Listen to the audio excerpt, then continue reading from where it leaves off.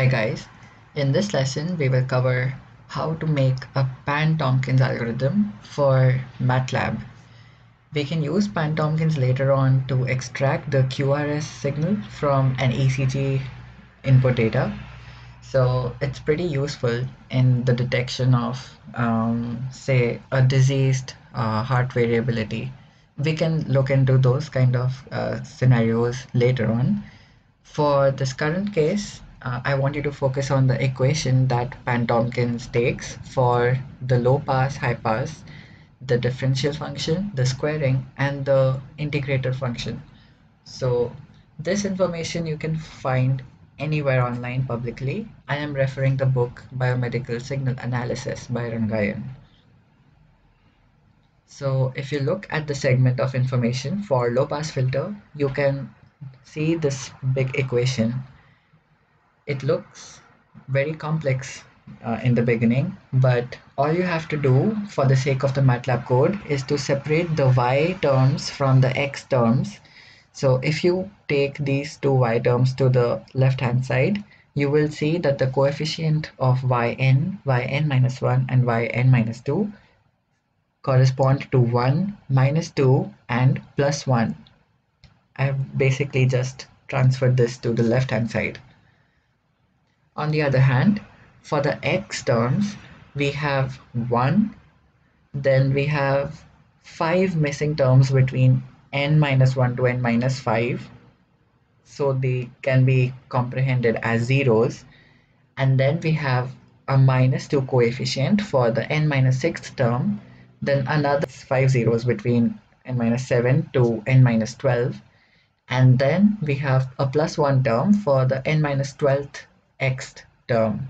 So if we want to write this in our MATLAB code, we can simply focus on the filter function because the filter function is going to give us information about the ECG signal based on our coefficients b and a and what I have currently done by separating y terms from the x terms is separated the data of the b coefficients from the a coefficients.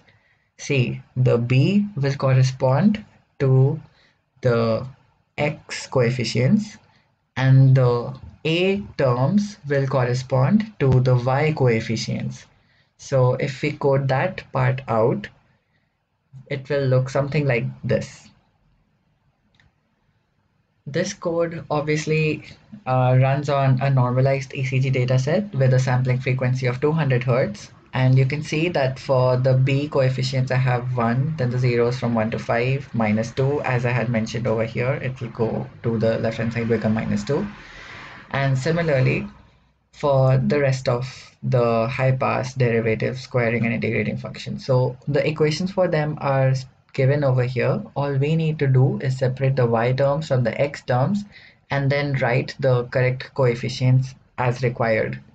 So the squaring function, of course, does not have any particular um, coefficients to be given. All we can do is like square our derivative equation from the above given code.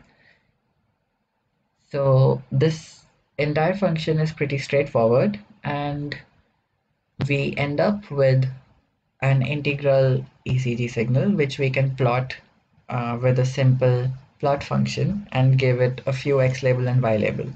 So let us run this and see what we get.